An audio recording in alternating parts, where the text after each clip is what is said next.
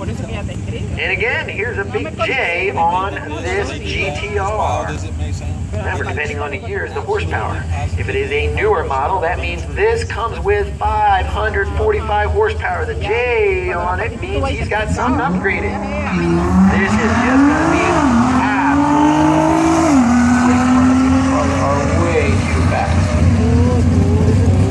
Double clutch kind of a Tiptronic setup.